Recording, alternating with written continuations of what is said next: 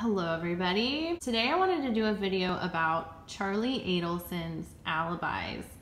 And I've been thinking about this for a while and I have made a list of five things that are solid alibis for Charlie. And we might see him get his day in court sometime in the future because of evidence surrounding him in the Dan Markel murder. But today I wanted to focus on his alibis, and I think that these alibis will be a huge part of his defense if the state decides to prosecute him in the solicitation of murder of Dan Markel.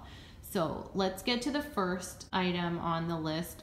Charlie was in South Florida at the time of Dan Markel's murder on July 18th of 2014 he was living in the Fort Lauderdale area, and of course, cell phone records and people can attest that he was in South Florida and he was not in Tallahassee. I believe his sister Wendy vouched for him when she was in the police interrogation that he was in South Florida at the time of Dan Markel's murder. The second alibi that Charlie Adelson has is that he did not contact Sigfredo Garcia or Luis Rivera. These are the hitmen that did kill Dan Markel, and there is no known records of the Adelson contacting Sigfredo or Luis. So the only known communication between the Adelsons and Sigfredo Garcia is a phone call that was placed to Adelson Institute. I'm not quite sure of the date. There was a hang-up call to the Adelson Institute in 2014 before the murder, maybe in June. So that was like a hang-up call and, and still to this day we don't know why, but no known communication between Luis Rivera, Sigfredo Garcia, and Charlie Adelson. The third alibi that Charlie has is that he didn't know Luis Rivera or Sigfredo Garcia personally. He might have known who Sigfredo Garcia was because that was Katherine Magbanua's ex boyfriend or the father of Katherine Magbanua's children, but he did not know Sigfredo personally. They weren't friends. In fact, they did not like each other. They knew of each, each other, but did not know each other personally. And the same thing goes with Luis Rivera and Charlie Adelson.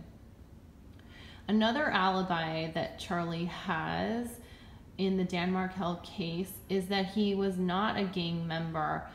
This might be more of character evidence. He was not a part of the gang that Luis Rivera and Sigfredo Garcia were a part of although he wanted to be kind of part of a gang or enjoyed you know that lifestyle in South Beach and was kind of a party guy but he was not actually in a gang. He didn't have a criminal record. So this can be looked at as somewhat of an alibi.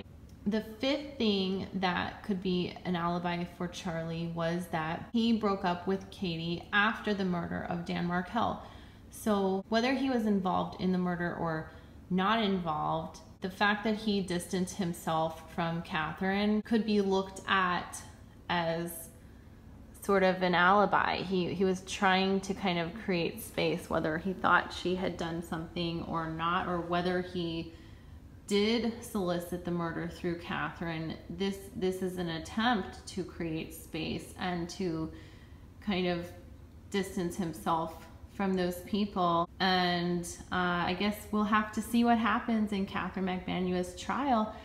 So these are all alibis that I'm sure his defense team is working on at the moment.